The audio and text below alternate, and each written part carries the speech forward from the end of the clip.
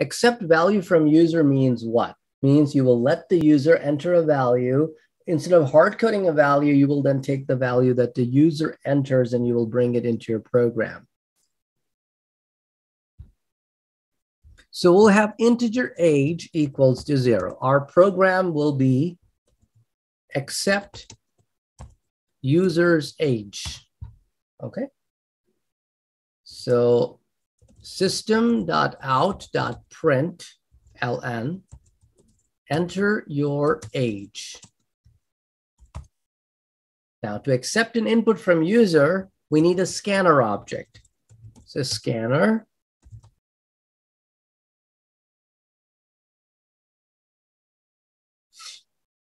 And for scanner object, you need to import the java.util package. So if you have simply written down line six, it will give you red lines. You can hover over the scanner and you can then click on import. This is the very first link. That's one way you can do that. The other way is to go under source menu and simply click on organize imports. So those are the two possible ways that you could do it. The third one is that you can use a keyboard shortcut of Control Shift O. Now, with that in place, now I will be accepting an input from user. So age, oops, equals to input dot next int. So that's how I will take an input from the user and we'll put it into the variable. You are, oops, so many years old. So notice this time I'm using a, var a variable in the middle of two strings. So I used a concatenation on both sides, okay?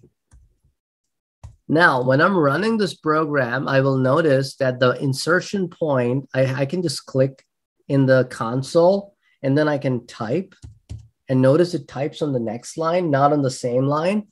Because on line number nine, I said print ln. Print ln means that accept the input on the new line, not on the same line. So that's why accepting it on the new line. And as soon as I hit enter, it says you are 22 years old.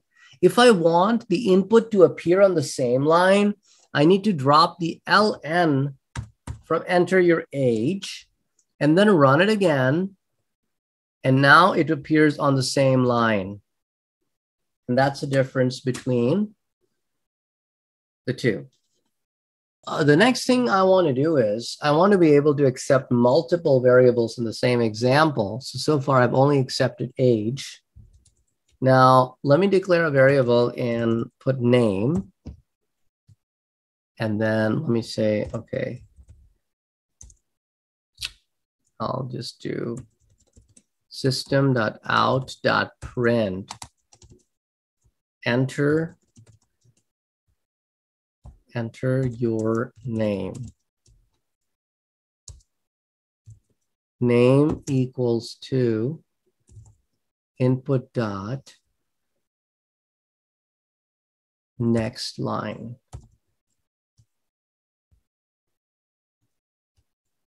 And instead of UR, we'll display whatever name is this years old. Okay, did this work? Does this work?